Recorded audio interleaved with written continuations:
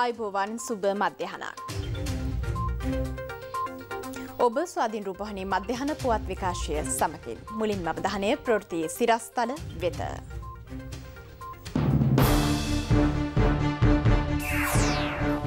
මරාගෙන මැරෙන්න සහරාන් ඉදිරියේ දිවුරුම් දුන්නා ශහිඩා හෙළි කරයි.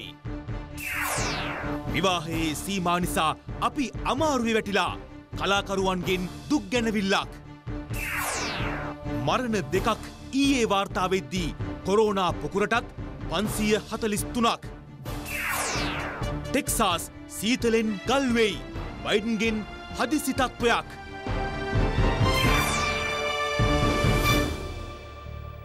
පාස්කු ප්‍රහාරයේ මහ මොලකරු ලෙස හැඳින්වෙන සහරන් හශිම්ගේ අන්තවාදී පන්ති සඳහා සහභාගී වූ මොහොමඩ් ඊබ්‍රහිම් ශහීඩා නැමැති විසි හතර හැවිරිදි කාන්තාව මාවනැල්ල හිංගුල ප්‍රදේශයේදී අත්අඩංගුවට ගත්තේ පෙරේදා දිනේදී. ඇයගෙන් සිදු කළ ප්‍රශ්න කිරීම්වලදී හෙළිවී ඇත්තේ ඇය සමග එම පන්ති සඳහා දෙදහස් දහට වසරේදී තවත් කාන්තාවන් පහළොස් දෙනෙකු සහභාගී වූ බවයි. මේ පිළිබඳ වැඩිදුරටත් විමර්ශන සිදු කෙරෙන බව පොලිස් මාධ්‍ය ප්‍රකාශක නියෝජ්‍ය පොලිස්පති අජිත් රෝහණ මහතා ප්‍රකාශ කළා. මෙම කාන්තාවගේ ප්‍රශ්න කිරීමේදී අනාවරණී ඇති වැදගත්ම කාරණය වන්නේ පන්තිවලට සහභාගිවීමෙන් අනතුරුව අවසාන දිනේදී මෙම කාන්තාවන් පහළොස් දෙනා මගින් අදාළ අපරාධකරු සහරාන් හශීම් විසින් ප්‍රතිඥාවක් ලබාගෙන තිබෙනවා. මෙය බයියත් යනුවෙන් හඳුන්වන ප්‍රතිඥාවක්. මෙයින් අදහස් වන්නේ ඕනෑම අවස්ථාවක ඉස්ලාම් අන්තවාදය වෙනුවෙන් මරාගන මැරීමට ඔවුන් සූදාන බවට පන්ති සඳහා සහභාගි වී ඇති කාන්තාවන් 14 දෙනාගෙන් පස් දෙනෙක් මේ වන විට මියගොස් තිබෙනවා පාස්කු ප්‍රහාරයෙන් අනතුරුව සයින්දු මරදු ප්‍රදේශයේදී සිදු වූ පිපිරීමේදී මිට අමතරව තවත් කාන්තාවන් තිදෙනෙක් දැනට රක්ෂිත බන්ධනාගාරගත කර තිබෙනවා. ඒ වගේම මෙම කාන්තාවද සමග තවත් කාන්තාවන් හතක් දැනට රැදවුම් නියෝග මත ත්‍රස්තක්‍රියා විමර්ශන කොට්ටාශය භාරය පසුවෙනවා පාස්කු ප්‍රහාරය හුවට පෙර දිනවලදී සිදූ මවනැල්ල බුදු පිළිම කඩා දැමීම වැනි සිදුවීම් වලට යම් රිජු හෝ වක්‍ර දායකත්වයක් ලබාදී තිබේද යන්න පිළිබඳවත් තවදුරටත් විමර්ශන සිදු කරනු ලබනවා. COVID-19 ආසාධිත පුද්ගලින් පන්සේ හතලිස් තුන් දෙනෙකු ඊයේ දිනේ හඳුනා ගත්තා. පසුගිය දින තුනේදීම COVID-19 රෝගීන් වාර්තාවීම පන්සියේ සීමාව දක්වා අඩු වී තිබෙනවා. එමෙන්ම මෙරට සමස්ත කොරෝනා ආසාධිතයන් සංඛ්‍යාව අසූ දහස ආසන්න මට්ටමට පැමිණ ඇති බවයි සෞඛ්‍යංශ සඳහන් කරන්නේ.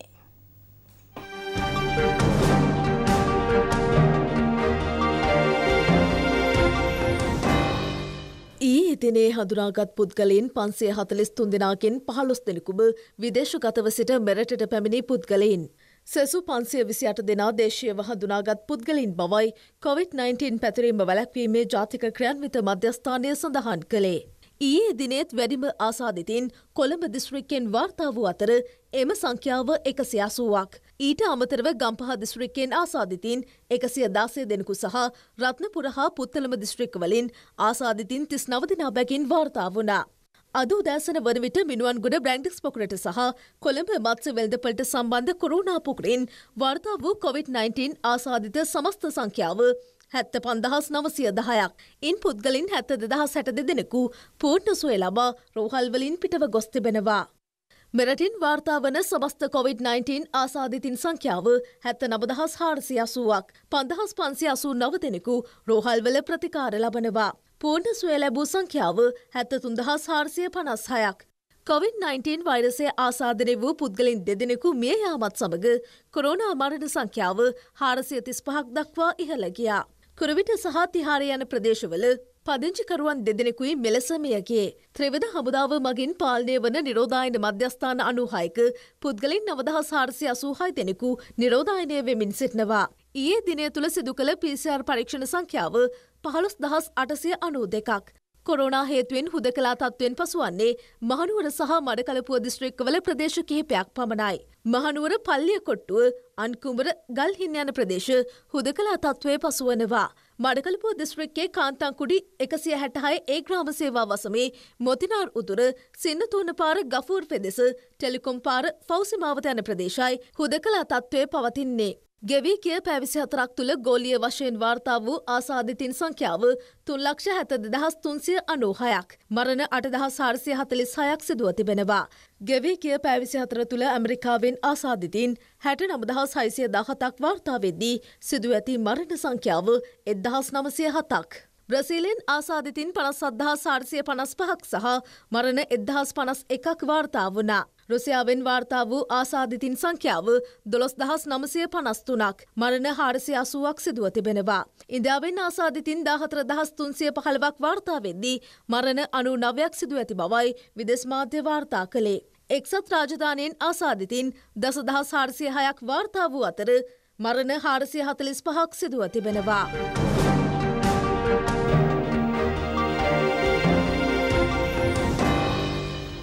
විවාහ මංගල උත්සව සඳහා සහභාගී විය හැකි පුද්ගලින්ගේ සංඛ්‍යාව සීමා කිරීමට තීරණය කිරීමෙන් තමන් දැඩි අසීරුතාවකට පත්ව සිටින බව විවාහ උත්සව කර්මාන්තයේ සැපයුම්කරුවන්ගේ එකමුතුව පවසනවා. කොළඹ පැවති මාධ්‍ය හමුවකදී මේ බව ප්‍රකාශ කෙරුණේ. හෝටල් ඒවගේම සංගීත කණ්ඩායම් ගායක ගායිකාවන් නර්තන ශිල්පීන් දීජේස්ලා ෆොටෝග්‍රෆස්ලා වීඩියෝග්‍රෆස්ලා ඒ වගේම මේ විවාමංගල උත්සවයක් කිරීම වෙනුවෙන් පිටිපස ඉන්න අපට ඇසට නොපෙන්නෙන චරිත රැසක් ඉන්නවා. ලක්ෂ සංඛ්‍යාත ජනතාවක් මේ හරහා ආදායම් පණහකට සීමා කරලා විවාමං මංගල උත්සවයක් කරන්න දීමෙන් සිද්ධ වෙන්නේ මෙස් හැමෝටම තමුන්ගේ රැකියාව එමත් නැත්තම් ආදායම් මාර්ගයේ අහිමි වීමයි. දැන් අපට අපේ රස්සාව කරන්න එපයි කියලා කාගෙත් යහපත වෙනුවෙන් කියනවනම් අපට ඒ වෙනුවට විකල්පයක් දෙන්න ඕනේ. එහෙම කරන්නේ නැතුව අපිට බලපාලා තියෙන ප්‍රශ්න වලට අපට උත්තර නැහැ. නව සාමාන්‍යකරණය නම් සාමාන්‍ය පිළිවෙලට අපි හැමදේම කරමු. නීතිමාලාවන් තියෙනවනේ මේ නීතිමාලාවන්ට අනුකූලව කරන්න කියලා කියනවනම් ඒ නීතිමාලාවන්ට අනුකූලව කරන්න අපි කවුරුත් බැඳිලා ඉන්න නීති රීති පනවන්න ඉස්සරලා කල්පනා කරන්න අනිත් අයට වෙන ප්‍රශ්න ගැන. සමහර ඒගොල්ලෝ මේක රක්ෂාවක් කියලා දකින්නේ නැහැ. මේක කෙලින්ම බලපාන අපිට එන්ටර්ටේනින් බජට් වලින් කපනවා හැමතැනින්ම කපනවා. අපිට දැන් ෂෝ එකක්වත් කරගන්න විදියක් නැහැ. අමාරුවෙන් යන්නේ. ඇත්තටම අපි බොහොම ආර්ථික පැත්තෙන් අනාගතයක් නැතුව බොහොම අවනිශ්චිත තත්යකට පත් වෙලා. මේක වෘත්තියක් කර මට්ටමට ගෙනියන්න බැරි තරමට දෙමාපියන් ළමයි ඉදිරිපත් කරන එකකුත් නැහැ. අනාගතේ ඊළඟ පරම්පරාවට ශිල්පීන් නැතිවේ මේ විදිහට ගියොත්. එතකොට මේ මියසික් කියන එකත් එන්ටර්ටේනිං කියන එකත් ඒක අපේ රටේ ඉන්ඩස්ට්‍රී එකක්. මේකෙන් ජීවත් වෙන පිරිස බොහොමයි අනිත් ඉන්ඩස්ට්‍රී වගේම මේ ඉන්ඩස්ට්‍රී එකත් පවත්වාගෙන යා යුතුයි මේකටත් අපිත් එක්ක එකතු වෙලා ගයිඩ්ලයින් හදාගෙන මේ අවුට්ඩෝ ෂෝත් කරගෙන යන්න දෙන්න. ජිනීවා මානව හිමිකම් කවුන්සිලේ ඉදිරිපත් කළ වාර්තාව වෙනුවෙන් පිළිතුරු වාර්තාව ඉදිරිපත් කිරීමට ශ්‍රී ලංකා රජය මේ වන විටත් කටයුතු කර ඇති බව විදේශ අමාත්‍ය දිනේශ් ගුණවර්ධන මහතා පවසනවා. මානව හිමිකම් කවුන්සිලේ හැසිරීමෙන් ශ්‍රී ලංකාව රටක් ලෙස නොසැලී ක්‍රියා කරන බවයි අමාත්‍යවරයා අවධාරණය කරන්නේ. මේ සම්බන්ධයෙන් තවත් මැති ඇමතිවරුන් කිහිප දෙනෙකුද අදහස් පළ කළා.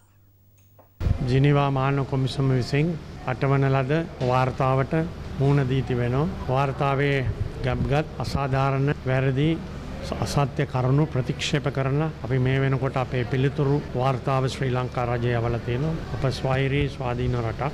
සැසිවාරය පටන් ගත්තාම අපි කරුණු කියනවා. ඒ වාගේම අපේ මිත්‍ර රටවල් සමග මේ වෙනකොට අපි සාකච්ඡා කරමින් මෙය ආපසු හැරවීම සඳහා අවශ්‍ය පියවරවල් ගනිමින් සිටින අතර එක්සත් ජාතීන්ගේ සංවිධානය සක්‍රීය රටක් හැටියට අප ඉටු කර තිබෙන මෙහෙය තාම ගෞරවයෙන් අපි සීපත් කල්ලා තිබෙනවා මේ එක ආයතනයක් එක්සත් ජාතින්ගේ සංවිධානය පමණක් අපට විවේචනය කිරීමෙන් අප සැලෙන්නේ නෑකීන ටිකත් ප්‍රකාශ කරන්න කැම. මෙවර අනිකම් කොන්සාර් ජෙනරාල් වලයාගේ වාර්තාව අපි මුලිමනිම ප්‍රතික්ෂේප කලා තියෙනවා අපිට අවශ්‍ය කරන යෝජනාසා අපිට අවශ්‍ය කරන අදහස් සහ කරුණු අපි වේමඩුවෙන්ටත් මානිකම් කවන්සිලට ඉදිරිපත් කර හමාරයි. කොවිඩ් දහනම මෙන් මුළු ලෝකෙම පීඩාවට පත්වෙලා තියෙන වෙලාවේ සමහර බලගතු රටවල් පවා කියලා තියෙනවා. මගේ බෙදීමක් ඇති කරන යෝජනා ගේන්න එපයි කියලා. මොකද මානවිකම් කවුන්සිල් රටවල් 47ක් තියෙනවා.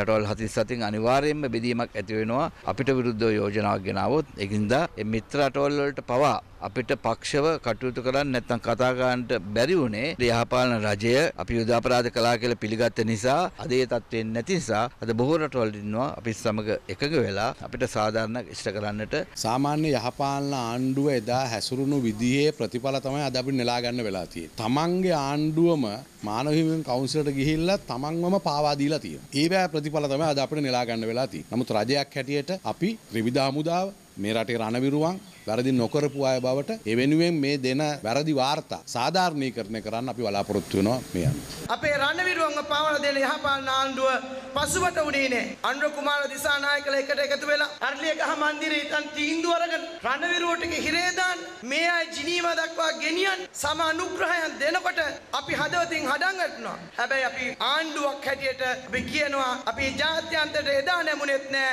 අද නැමෙන්නෙත් නෑ හෙට නැමෙන්නෙත් නෑ අපේ රණවිරුවන් ආරක්ෂා කරන වගකීම අපි ආණ්ඩුවක් හැටියට අපි ගන්නවයි කියලා මේ වෙලාවේදී මතක් කරනවා. කොළඹ හලාවත දෙදිසාවේ ප්‍රධාන සංගනායක කැලණිය විශ්වවිද්‍යාලයේ කුලපති ආචාර්ය පූජ්‍ය වැලිමිටියාවේ කුසලධම්ම ස්වාමින් වහන්සේගේ 84 වන ජන්මදිනය නිමිත්තෙන් ආශිර්වාද බෝධි පූජාවක් පෑලියගොඩ විද්‍යාලංකාර මහපිරිවෙනේදී පැවැත්වුණා. ඒ අග්‍රාමාත්‍ය මහින්ද රාජපක්ෂ මහතාගේ ප්‍රධානත්වයෙන්. විද්‍යාලංකාර මහපිරිවෙනට පැමිණි අග්‍රාමාත්‍ය මහින්ද රාජපක්ෂ මහතා පූජ්‍ය වැලිමිටියාවේ කුසලධම්ම ස්වාමින් වහන්සේ බැහැදැක සුවතොක් විමසා සිටියා. උන්වහන්සේගේ ශාසනික මෙහෙවර අකණ්ඩව ඉදිරියට ගෙන යාම සඳහා අවශ්‍ය නිදුක් නිරෝගී චිරජීවනයේද අග්‍රාමාත්‍යවරයා ප්‍රාර්ථනා කර සිටියා. බෝධි පූජා පින්කමේදී අනුශාසනාවක් සිදු කළ විද්‍යාලංකාර මහා පිරිවෙනේ වැඩබලන අධ්‍යක්ෂ පූජ්‍ය වැලිමිටියාවේ ඥානරතන සාමින් වහන්සේ සඳහන් කළේ කුසලතාම්බ සාමින් වහන්සේ සිය අධ්‍යාපනික ආගමික හා සමාජීය මෙහෙවර ඉටු කිරීම සඳහා වැඩම නොකළ ස්ථානයක් විහාරයක් මෙරට නොමැති බවයි. සබරගමුව විශ්වවිද්‍යාලයේ කුලපති පූජ්‍ය කුඹුරුගමුවේ වජිර අත්තනකල්ලේ රජමහා විහාරාධිපති පූජ්‍ය පන්නිලානන්දයන ස්වාමින් වහන්සේ ප්‍රමුඛ මහා සංඝරත්නය මෙම අවස්ථාවට වැඩම කර සිටියා. රාජ්‍ය අමාත්‍යවරුන් වන ප්‍රසන්න රණවීර සිසිර ජයකුටි හා ඉන්දිකණ්ඩුරුත් යන මහතුරුන් ඇතුළු පිරිසක් ඊට එක්වුණා.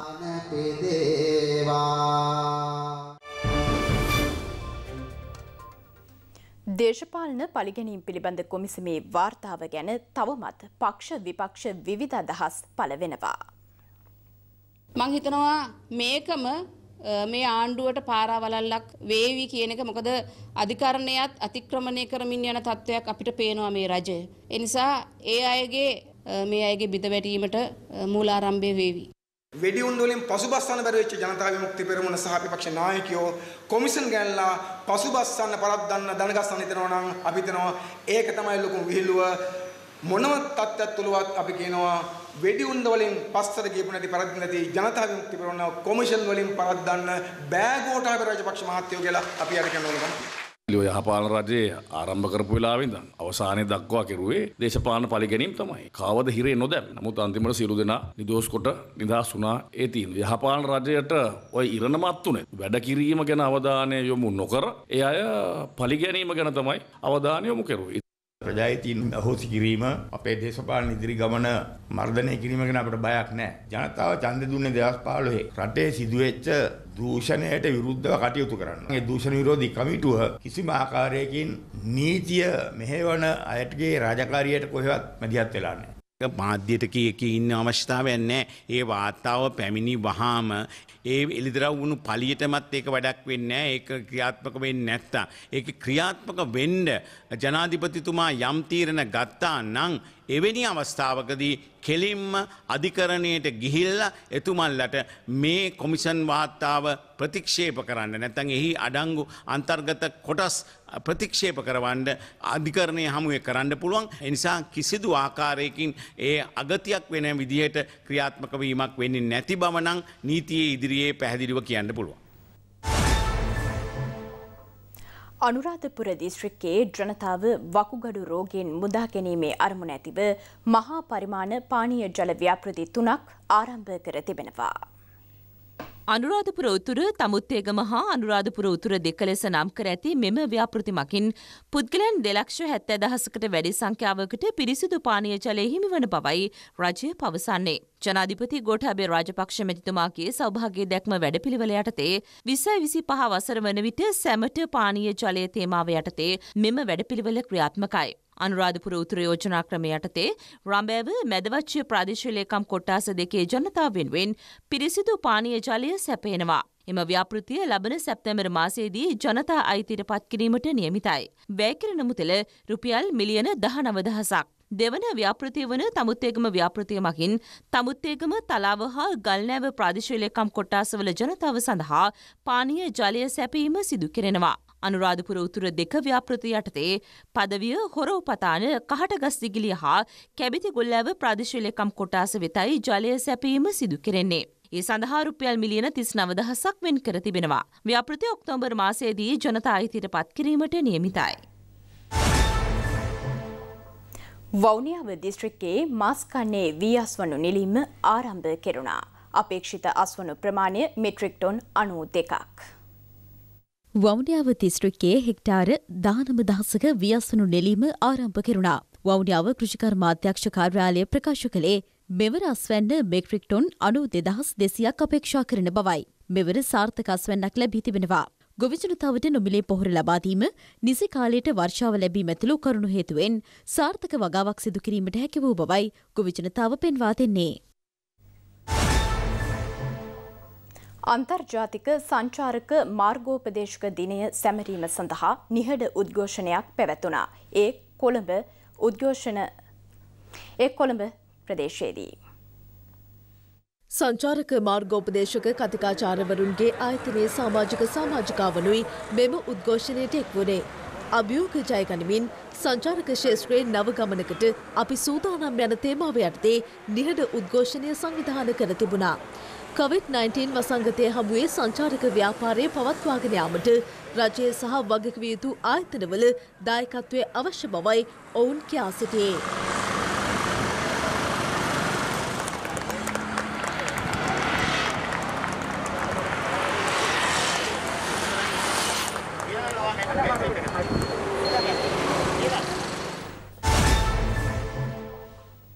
දැන් පුවත් කිහිපයක් ලුහුඩින්. රටට ආශිර්වාද පතා ස්ථාන කිහිපයක එකම දිනක එකම වේලාවක ආශිර්වාද පූජා පැවැත්වුණා. සමාජ සුභසාධන හා ආර්ථික සංවර්ධන පදනමයි එය සංවිධාන කළේ. බස්නාහිර පලාතේ මෙම ආශිර්වාද පූජාව පැවැත්වුණේ බෙල්ලන්විල රජමහා විහාරස්ථානයේදී. පූජ්‍ය දොඹවල ශ්‍රී විජයඥාන ස්වාමින් වහන්සේ ආගමික වතාවත් සිදු කළා. සියලු දරුවන් පෝතක බාලදක්ෂයන් කරම ව්‍යාපෘතියේ ආරම්භක උත්සවය අමාත්‍ය මහාචාර්ය ජී.එල්. පිරිස් මහතාගේ ප්‍රධානත්වයෙන් කොළඹදී පැවැත්වුණා. දෙසැම්බර් 31 වනදා දක්වා මෙම ව්‍යාපෘතිය ක්‍රියාත්මක කිරීමට නියමිතයි.